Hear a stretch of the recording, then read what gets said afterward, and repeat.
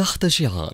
الابتكار في الذكاء الاصطناعي رافعة أساسية للتنمية المجالية. افتتحت بالرشيدية فعاليات أيام الابتكار والمقاولة الرقمية بمشاركة ثلة من الخبراء ورجال الأعمال والأكاديميين والطلبة. هذه التظاهرة التي تنظمها كلية العلوم والتقنيات بالرشيدية تروم مناقشة تحديات وآفاق ريادة الأعمال الرقمية في المغرب والابتكار باعتباره رافعة أساسية في الانتقال إلى اقتصاد قوي وتنافسي.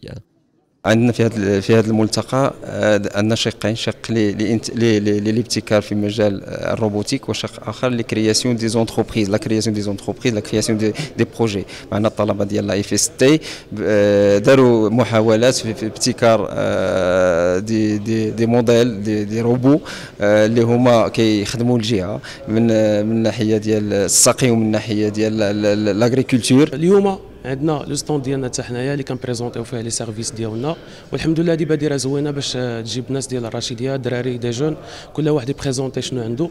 كاين un potentiel كاين جاد آه، مزيان بحال هاد الفرص هادو باش نقدروا نبينوا آه، les compétences ديالنا نبينوا شنو عندنا.